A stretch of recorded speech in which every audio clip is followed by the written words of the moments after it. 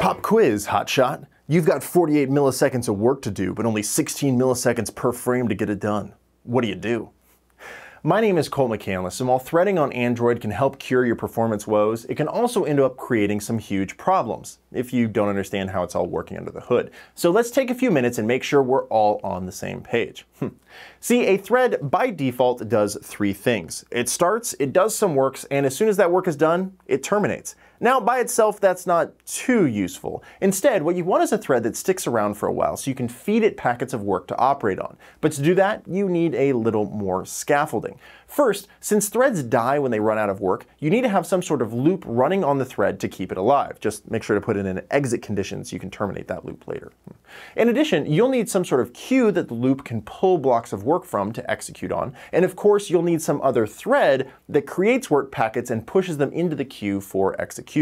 Now, if you've ever tried to write this setup yourself, you know it gets a little gnarly to get all of that machinery working correctly. Thankfully though, Android has a set of classes to do all that for you. For example, the looper class will keep the thread alive and pop work off a queue to execute on. And rather than always inserting work at the end of that queue, the handler class gives you the control to push work at the head, the tail, or set a time-based delay that'll keep some work from being processed until that time has passed.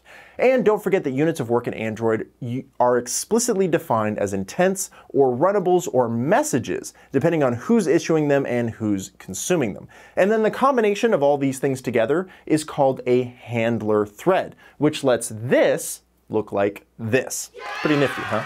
So let's look at how you can use this in your application.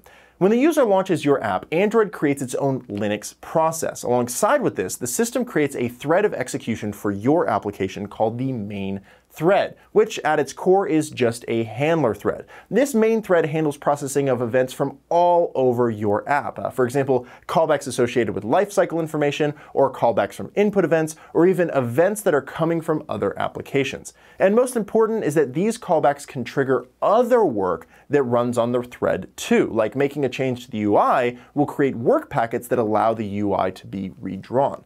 Basically, this means that any block of code your app wants to run has to be pushed into a work queue and then serviced on the main thread. The takeaway here is that with so much work happening on the main thread, it makes a lot of sense to offload longer work to other threads as to not disturb the UI system from its rendering duties.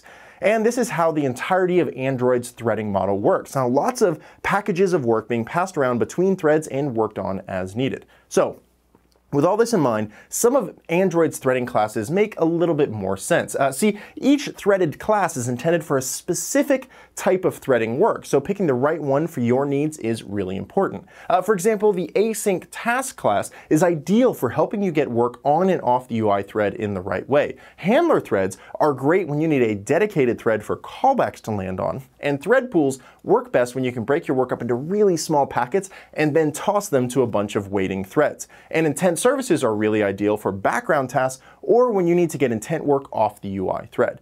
And like everything else, there's not a silver bullet here, but knowing which primitive is best for what situation can save you a lot of headaches. Now, if you ever want more insight into how your app is leveraging threading, make sure you spend some time getting comfortable with Systrace. It's a fancy tool that'll school you on how that mumbo jumbo is working underneath the hood. And if you're looking to get schooled more, make sure you check out the rest of Android Performance Patterns videos. And don't forget to join our Google Plus community for more tips and tricks on threading. So keep calm, profile your code, and always remember, perf matters.